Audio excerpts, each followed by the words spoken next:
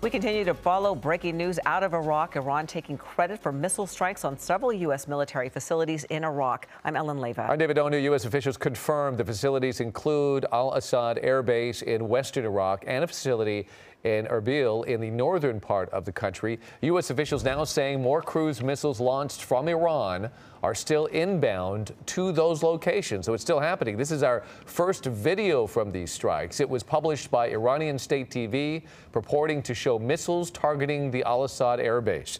No word on any damage or casualties. President Trump has been briefed and is monitoring the situation. We'll keep bringing you updates as they come in.